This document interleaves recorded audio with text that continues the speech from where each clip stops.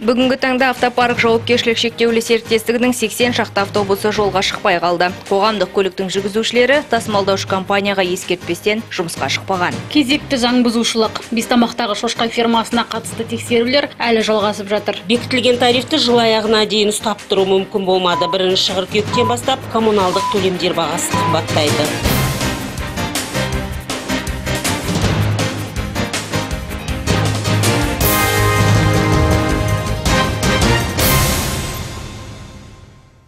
Қайырлы кеш эфирде тәулік ақпараттық бағдарламасы студияда Мира Исатай. Бүгін таңда аялдамалар жолаушыларға толды. Ақтөбеліктер діттеген жерінен жете алмай жатты. Оған себеп автопарк жауапкершілік шектеулі серіктестігінің 80 шақты автобусы жолға шықпай қалған. Қоғамдық көлік жүргізушілері басшылығына қарсы осылай наразылық білдірді. Ескертусіз ереуіл өткізуге не түрткі болды? Тілші тарқатады. Бүгін таңертең еш себеп айтпай автопарк жеке шаруашылық серіктестігінің 80 жүргізушісі жұмысқа шықпай қалды. Салдарынан 7, 11, 15, 24, 26, 27 бағыттағы автобустарды халық аялдамаларда сарыла күтті. Ал ереуілдеткен жүргізушілер автопарк серіктестігінен шілде айының жалақысын қолма-қол беруді талап етті. Электронды билет жүйесі енгізгелі барлық жұмысшылар екінші деңгейлі банк арқылы банк картасын ашуға міндеттелген. Алайда несие қарызы алименті бар салықты төлемеген жүргізушілер бұдан бас тартқан. Автопарк директоры ақарыс тілеулесов банк картасы болмаса ақшалай айлық бере алмаймыз дейді. Нақты жүргізушілердің өздерінен шығып тұр. Себебі өйткені карточка аша алмай отыр. Болды и все айлық жалақы карточкасы. Иә сол. Себебі? Себебі өздерінің жаңағы несиеге бірнеше несиеге қарыз алиментке қарыз налогқа қарыз. Енді ол түрлі қарыздарға ол жаңағы сот орындаушылармен жаңа неге қойып қойған? Блокқа дей ма қалай? Сәуір айынан бастап екі ай мүмкіншілік бердік жүргізушілерге. Мәселе иә мәселелеріңді шешіңдер. Өйткені біз ешқандай ондай немен жүре алмаймыз төлемдер жүргізе алмаймыз деп. Сол өздері де көздері жету керек. Себебі осы екі айдың өзінде де біз қиындықтармен қиыншылықтармен беріп беріп келдік. Олар енді көздері жетті. Тек осы осы айдікі ғана мәселе болып тұр. Қазір жүргізушілердің жалақысы 120-300 мың теңге аралығында. Олардың еңбек ақысы жұмыс жүктемесіне қарай есептеледі. Бүгін жұмысқа шықпай қалған 80 жүргізушінің бәрінің де картасы жоқ деуге келмейді. Кейбірі бір-бірін қолдап осындай әрекетке барып отыр. Автопарк жеке шаруашылық серіктестігінің директоры Ақарыс Тілеулесовтың сөзінше, бұған дейін картасы жоқ жүргізушілер қолма-қол ақша алса да мәселелерін шешуге әрекет етпеген. Айта кету керек, шілде айының жалақысын наразылық акциясына қатысқан жүргізушілердің 40-50 пайызы алмаған. айлық көлеміне шағымыз жоқ. Келісілген бойынша айлықтар кімге карточкаға түсті олар ешқандай сұрақпен қалған жоқ. Тек бүгінгі күні жаңа айлық ала алмағандарға айлық алғандар акцияға көмектесіп отыр.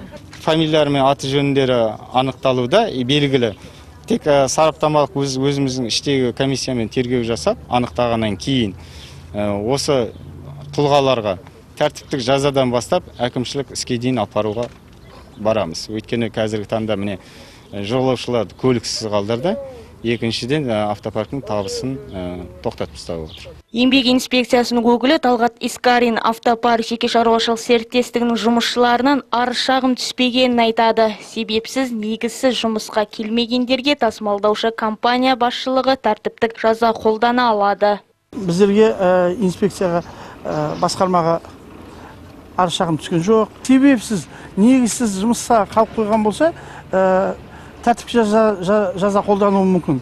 Төрт түрі бар. Оның ішінде ә, жұмыстан да шығаруға да мүмкіндігі бар. Бүгінгі таңда мен енді анық қанығын точно білмегесін тексермегесін тексерістің қорытындысы белгілі болады. Ә, бұ- бұл жағдай бойынша қазір ә, тексеріс басталады деп ойлаймын. Сол тексерістің қорытындысы болғасын. Қала басының орынбасары Қуандық Қасымов жақын арада тасымалдаушы компанияға мемлекеттен субсидия бөлінетінін жеткізді. Келісім осы жылдың қыркүйегінде тұрғын үй коммуналдық шаруашылық жолаушылар көлігі және автомобиль жолдары бөлімі мен автопарк арасында жасалады. Тұрғындарға қызмет көрсету жақсарады. Сондай-ақ әкімдік қалада үшінші тасымалдаушы компания пайда болады деді. Қазан айында қалалық бағыттарда 50 жаңа автобус шығарылады деген жоспар бар. Ермес Мырза, Алексей Уразов, Тәулік. Бестамақтағы шошқа фермасының қызметін толық тоқтата тұру туралы сот шешімі шыққанына қарамастан, кешен әлі жұмыс жасап жатыр. Онымен қоймай айналаны сұйық қалдықтармен ластауын тияр емес. Тұрғындар өтінішімен фермада кезекті тексеру жүргізіліп, бұл заң бұзушылық расталды. Кәсіпорынға 291 мың 700 теңге көлемінде айып бұл салынды және 500 мың теңге көлемінде қоршаған ортаға келтірген залалды өтейді.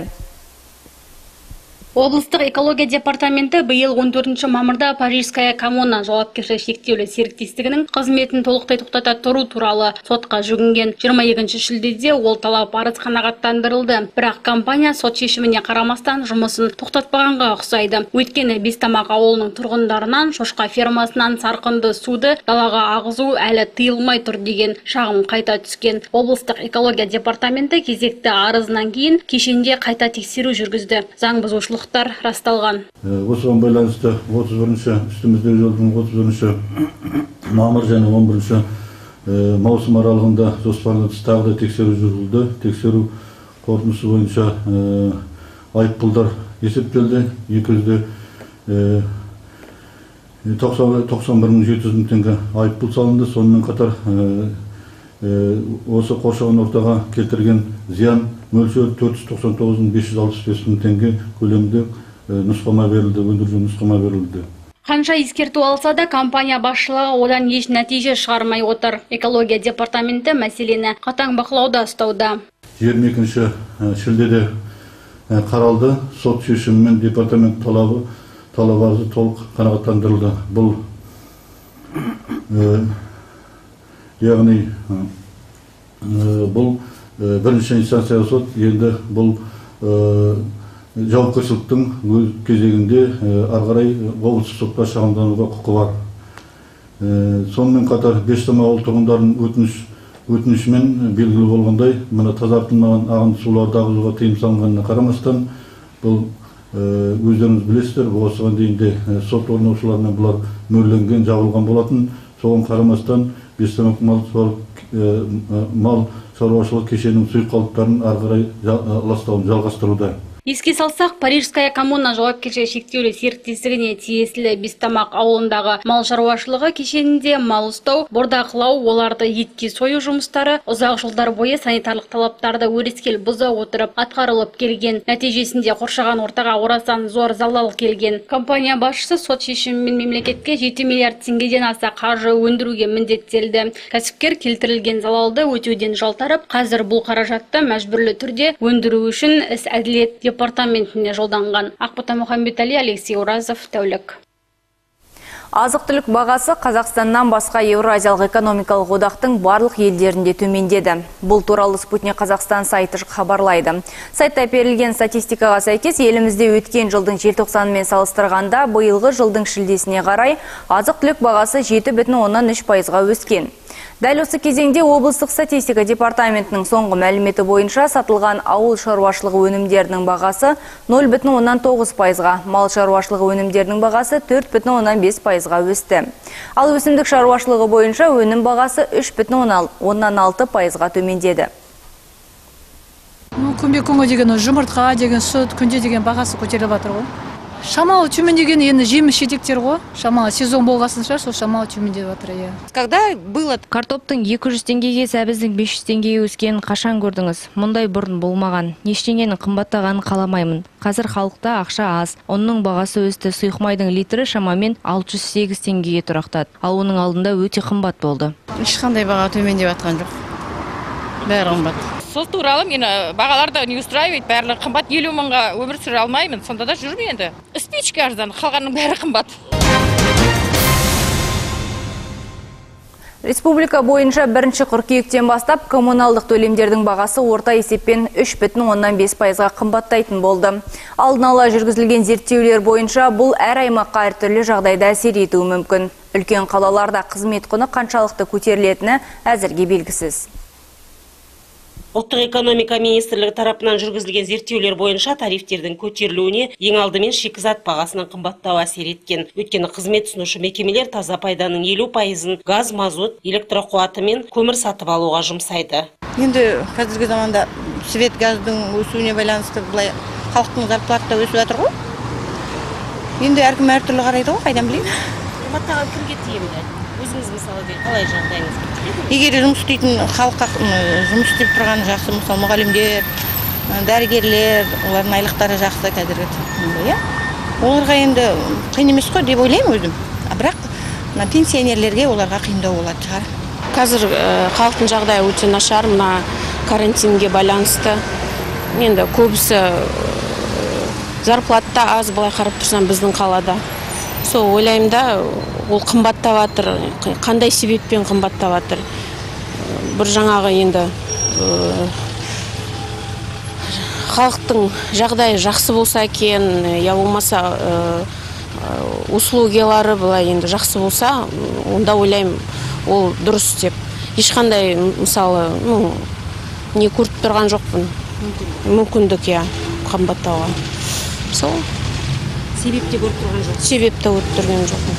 Ұлттық экономика министрлігі өкілдері алдын ала жариялап отырған үш бүтін оннан бес пайыздық қымбатшылық әзірге болжам ғана. Нақты деректер коммуналдық қызмет құнының мұнан да шарықтап кетуі мүмкіндігін көрсетеді. Өйткені көтерме бағамен сатылатын газдың құны нарықта он пайызға электр қуатының құны он бес пайызға көтеріліп кеткен. Шығынға батпау үшін қызмет ұсынушы компаниялар коммуналдық төлемдерді де соншалықты көтеруге мәжбүр болады. Раушан сейсенбаева алексей уразов тәулік.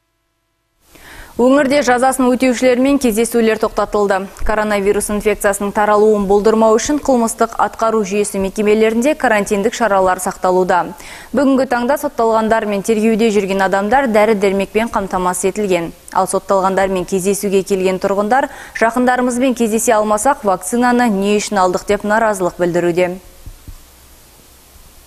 Халық аузында алтыншы аталып кеткен абақты алдында бүгін туыстарымен кездесуге келген төрт адамды жолықтырдық. Ішке кіре алмай жүр. Түрме басшылығы карантин талаптарына сай қабылдау кездесулерді тоқтатқан. Тіпті адамдардан азық түлік түріндегі сәлемдемелер де қабылданып жатқан жоқ. Мына адамдардың айтуынша ішке дәрі дәрмекті ғана беріп жіберуге болады екен. Ал түрме алдында жедел жәрдем көлігі кезекшілікте тұр. Жүз үш қызметі мұнда тәулік бойы күзетте. Все хотят детей своих видеть. Бәріміз баламызды көргіміз келеді. Қашан кездесе алатынымыз да белгісіз. Мұндағылар баламның жағдайы жақсы дейді. Біз дәрі дәрмекті қызметкерлерден беріп жібереміз. Ең болмағанда бір айда бір рет кездесе алсақ рахмет айтар едік. Телефонные звонки там по понедельникам по моему с таксофона звонят. Әрине кездестіру керек. Мен ағамды көрмегеніме жарты жыл болды. Тек әр дүйсенбі сайын телефон арқылы сөйлесеміз. Менің түсінбейтінім егер жақындарымызбен кездесе алмасақ онда не үшін екпе алдық? Бұл жерде де сотталғандарға вакцина беріп жатқан шығар. Ең болмаса терезе арқылы сөйлестірмей ме? Жақынымыз болғасын көргіміз келеді әрине.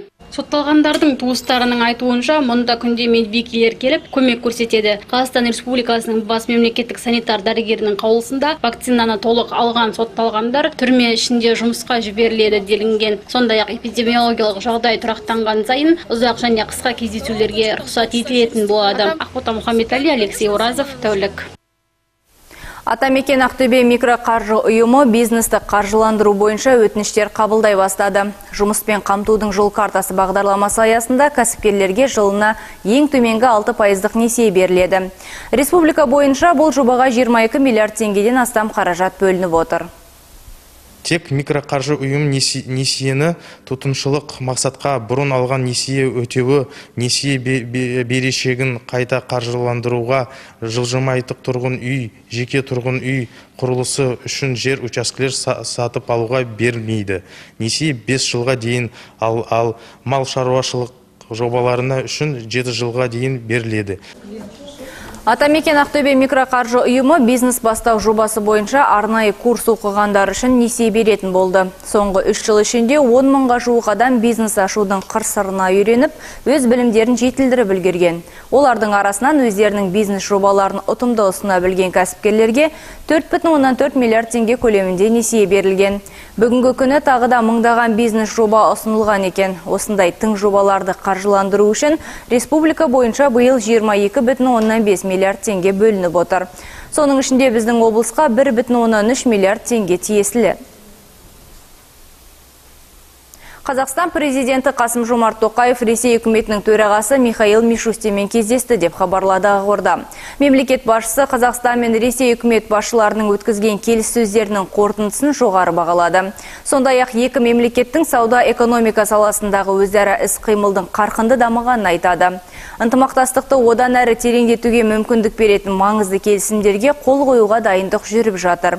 Пандемияға байланысты туындап отырған барлық қиындыққа қарамастан екі ел арасындағы сауда өткен 5 айдың ішінде 26 пайызға артты деді Қасым Жомарт Тоқаев. Қазақстан президенті болашақта экономикалық байланыстардың арттырудың әлеуеті зор екеніне назар аударды. Ел және әлемде болған оқиғалар келесі топтамада.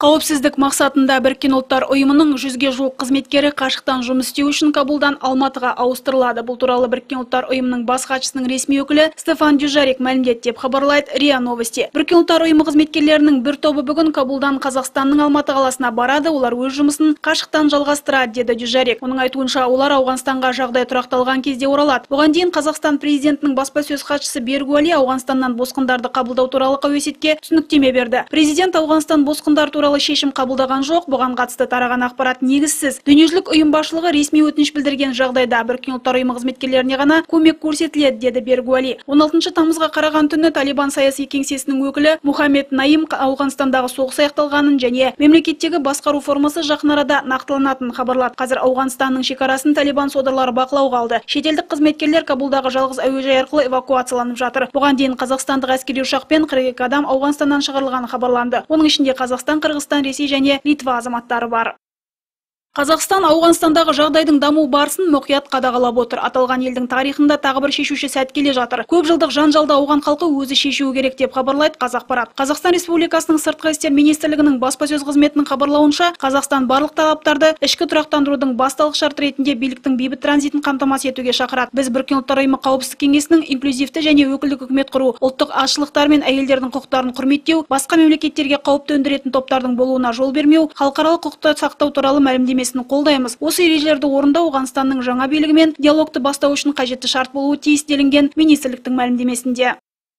Елден қашып кеткен Ауғанстан президенті Ашраф Гани отандастарына видео үндеу жазып мән жайды түсіндірді деп хабарлайды РИА Новости. Еске сала кетейік, Ауғанстанның экс-президенті отбасымен бірге біріккен араб әмірліктерінде жүр. Ашраф Гани қан төгілмеу үшін елден кеткенін тағы да мәлімдеді. Кабул күйреген күні не болғанын кейінірек толығырақ айтып беремін. Мен Ауғанстаннан кетуге мәжбүр болдым, себебі Кабулда қан төгілуіне себепкер болғым келмеді деді Гани өзінің Facebook парақшасында жариялаған видео үндеуінде. Саясаткер Талибан қозғалысының өкілдері Кабулға кірмейміз деп уәде берген, бірақ президент сарайын алдын ала қоршап алғанын атап өтті кабулдан ақшамен кетті деген айыптаулар шындыққа жанаспайды деген гани елге жақын арада оралатынын жеткізді.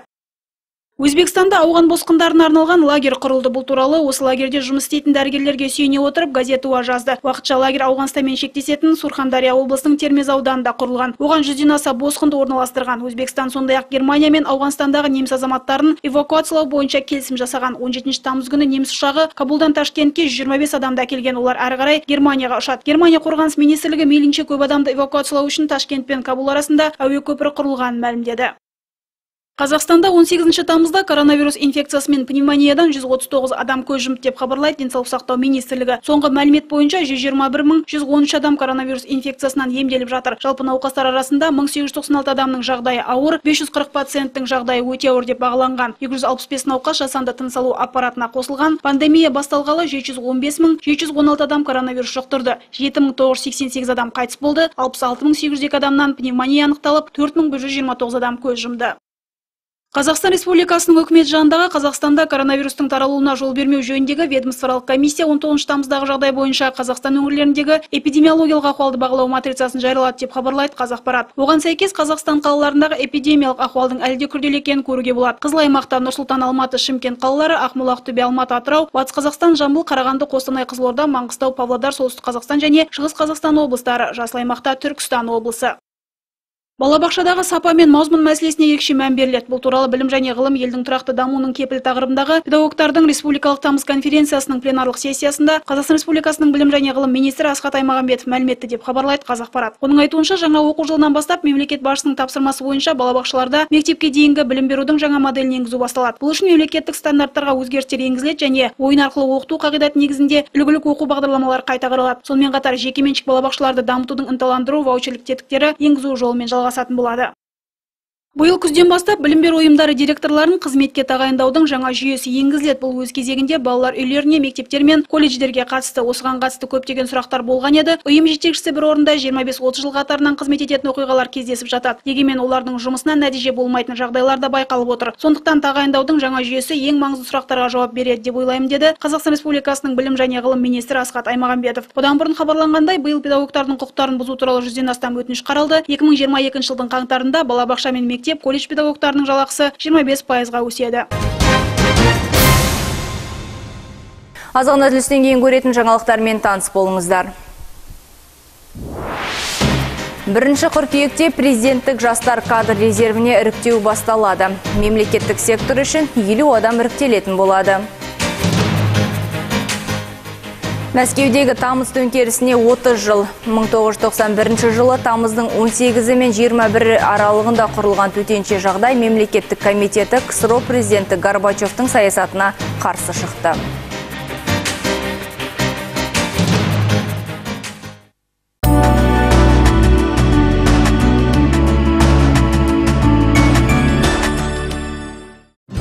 Өміріңізді одан әрі жақсарту үшін өзіңізге сұрақ қойыңыз. Сіз қандай жетістікке жеттіңіз? Нені емдендіңіз? Жасыңыз нешеде? Неше балаңыз бар? Қандай мамандықтарды игердіңіз? Қанша тіл білесіз? Осы сұрақтарға жауап арқылы біз өмірімізге жаңа толықтырулар енгізіп және өзгертетін тұстарды анықтайтын боламыз. Ұлттық халық санағы барлық елдің өмірін нақты сандармен және жеке емес мәліметтермен бағалау мүмкіндігі бұл біздің ортақ мүдделерімізді шешу үшін жұмсалатын күш жігер мен құралдардың мемлекеттік жоспарының негізі. Алда қалай жетістікке жете өмір сүретініміз сіздің берген жауаптарыңызға байланысты. Сайт арқылы немесе үйге интервьюер барған уақытта. Қазақстанда әркім маңызды. Сіз бұлай әлі демалған емессіз. Земнисат мейрамханасы армандар орындалатын нағыз жұмақ бақшасы мөлдір бұлақ экзотикалық өсімдіктер мен жанда әуенмен өрілген сарқырама ортасында керемет ас үй дәмін татыңыз қазақстандағы жалғыз таңғаларлық қысқы бақта банкет той ұжымдық кеш іскерлік кездесулер мен мерекелік кештер өткізіңіз. Земнисат мейрамханасы кіру есігі ретро парк жағында. Сіз жай ғана жарнама бергіңіз келе ме? Күрделі прайссыз артық сандар мен нұсқаулықсыз. Ақыры таңдаудан шаршадыңыз ба? Бізбен сіз жеңіл есептесе аласыз. Небары үш жарияланым пакеті. Үнемді ыңғайлы сыйымен. Рика медиа тобының жарнама қызметімен ойыңызды кәсібіңіз үшін босатыңыз. Қарапайым ұсыныс дұрыс шешім. Анықтама телефоны 220 250 222 300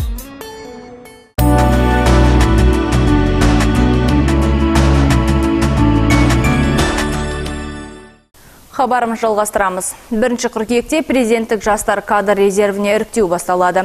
Мемлекеттік сектор үшін 50 адам іріктелетін болады. Іріктеуге 35 жастан аспаған, жоғары білімді және кемінде 5 жыл жұмыс өтілі бар, сондай ақ мемлекеттік тілді орташадан төмен емес деңгейде білетін қазақстандық қатыса алады деп мәлімдеді. Бүгін өңірлік коммуникациялар қызметі алаңында өткен брифингте облыстық мемлекеттік қызмет істері департаментінің басшысы Әділбек Мұқашев. Президенттік жастар кадр резервіне алғашқы іріктеу 2019 жылы өтті. Біздің облыс бойынша оған 289 жас қатысты. Олардың 12-сі резервке алынды. Бүгінгі таңда 11 адам жұмысқа орналастырылды. Екеуі облыс әкімнің орынбасары қызметіне, біреуі облыс әкімі аппаратының басшысы лауазымына, біреуі басқарма басшысы қызметіне алынды. Үш үміткер басқарма басшысының орынбасары екеуі квазимемлекеттік секторға, екі үміткер орталық атқарушы органдарға жұмысқа орналастырылған. 1991 жылғы Мәскеудегі тамыз төңкерісіне бүгін тура 30 жыл толды. Осыдан 30 жыл бұрын тамыздың 18 мен 21 аралығында өз-өзін жариялаған төтенше жағдай мемлекеттік комитеті құрылды. Уақытша кеңес билігі құрамына кеңес үкіметінің жоғары лауазымды тұлғалары енген болатын. Олар КСРО президенті Михаил Горбачевтың қайта құру саясатына қарсы шыққан еді. Бұл әрекет мемлекеттік төңкеріс болды. Тарихи оқиға ақтөбеліктердің де есінде бірақ енді тоқсаныншы жылы біздер как раз жаңа болып жаңадан тұрмысқа шыққан уақытым мен. Біз сол уақытта жаңа жаңадан жұмыс істеп жаттық біздер. Содан кейін сол уақытта біздің кооперация ыдырап теңге үкіметтің сомының бәрі рубльдің бәрі құлдырап теңгеге айналған уақыт сол уақыт. Айтсам тоқсан үшінші тоқсан бір тоқсан үшінші жылдардың уақытында как раз біздің жас уақытымыз ғой. Әрине өте кәдімгі есімізде қалған уақыт біздің. Енді бұрынғы заман жеңіл болды деп айтады. Көптеген нәрсе мысалы оқу ә, медицина ол кезде бәрі ә, тегін болды қазіргідей емес. Енді қазір барлығы қай, жер, қай, жер, қай жерге барсаң да барлығы ақшаға келіп тіреледі ғой енді. Такой период, когда распался Советский Союз. ксро-ның ыдырауы осы оқиғадан кейін бастау алды. Біздің жастық шағымыз кеңес үкіметінде өтті. Ол кездері тұрмыстық қиындықтар болмағандықтан ба адамдар бір біріне өте мейірімді болатын. Халықтың күнкөріс деңгейі қазіргідей төмен болған жоқ.